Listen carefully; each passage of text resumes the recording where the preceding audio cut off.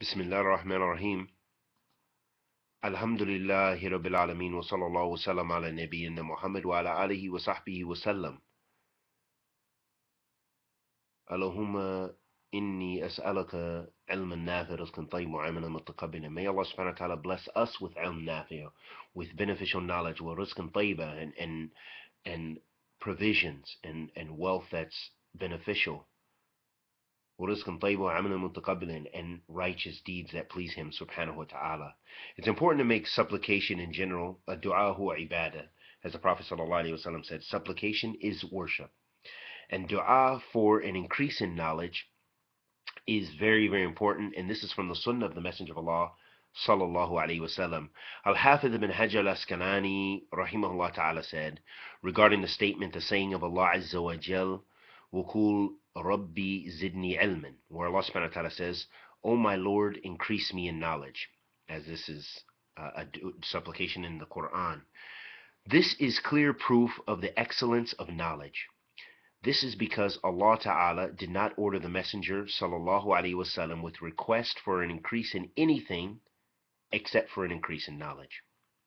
Umm Salama radiallahu ta'ala anha said that the Messenger of Allah Sallallahu Alaihi Wasallam used to say in the supplication in the morning prayer, Allahumma inni as'aluka ilman nafi'a wa rizqan tayyiba wa amalan muttaqabbilan. O Allah, indeed I ask you for beneficial knowledge and good halal provision, and actions which are accepted.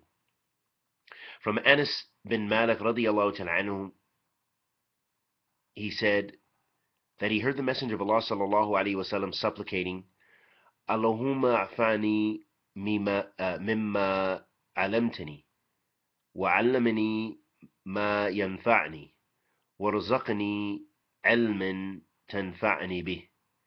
The Prophet sallallahu alaihi wasallam was heard by Anas ibn Malik radiallahu ta'ala anhu making this dua.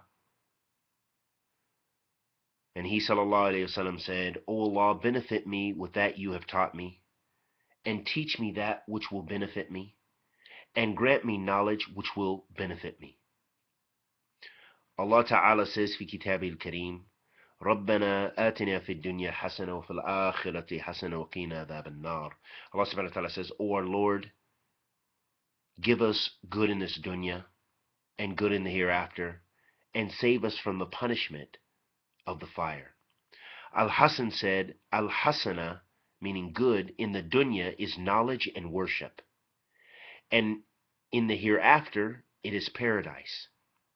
Sufyan said, Al Hasana, or good, in the dunya is knowledge and good provision, and in the hereafter it is paradise. Abu Bakr Muhammad ibn Ja'far, rahimahullah ta'ala, said, I heard Ibn, uh, Ibn Khuzaymah while he was asked, Where did you get this knowledge from? He answered, The Messenger of Allah wasallam said, Ma zamzam lima sharib lahu. Zamzam water is that is what it is drank for. So when I would drink Zamzam water, I would ask Allah for beneficial knowledge.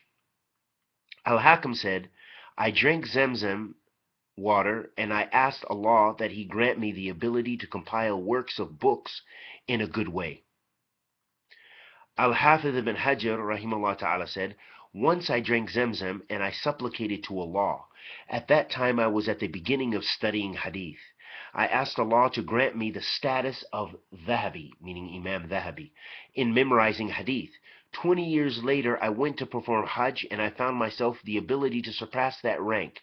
So I asked Allah for a higher rank than before, and I hope that Allah grants me this rank.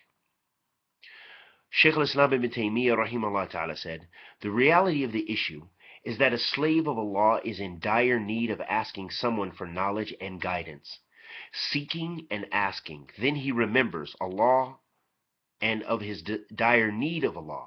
Then Allah guides and shows him. Just as Allah subhanahu wa ta'ala says, Ya ibadi kullukum bal illa ma hadaytu hadaytuhu fashhaduni fashhaduni ahdukum. Allah subhanahu wa ta'ala says in the hadith uh, Qudsi, O my worship, O my worshippers, all of you are astray except the one whom I have guided. So seek guidance from me, and I will guide you. And just as the Prophet sallallahu alaihi wasallam used to say, the supplication, Jibrail wa Mikail wa Israfil, فاتر السماوات والأرض عالم الغيب والشهادة أنت تحكم بين عبادك فيما كانوا فيه يختلفون اهدني اهدني لما اختلف فيه من الحق بإذنك إنك تهدي من تشاء إلى صراط مستقيم The Prophet ﷺ used to supplicate this beautiful dua. He said, O Allah, Lord of Jib- Jibrail, wa Mikail, wa Israfil, you are the originator of the heavens and the earth, the one who has all the knowledge of the unseen and what is visible. You judge between your worshippers in what they differ. Guide me to the truth by your permission and what they differ. Indeed, you are the one who guides whom you want to the straight path. And we ask Allah, the Almighty, the Lord of Jibrail, wa Mikael, wa Israfil, the originator of the heavens and earth, the one has all the knowledge of the seen and, and the unseen, that he judges between us in where we differ and guides us to the truth by his permission. Indeed, Allah subhanahu wa ta'ala is the one who guides and he guides to the straight path and we ask him subhanahu wa ta'ala to guide us to the straight path. Wa sallallahu wa sallam ala nabiyyina muhammad wa ala alihi wa sahbihi wa sallam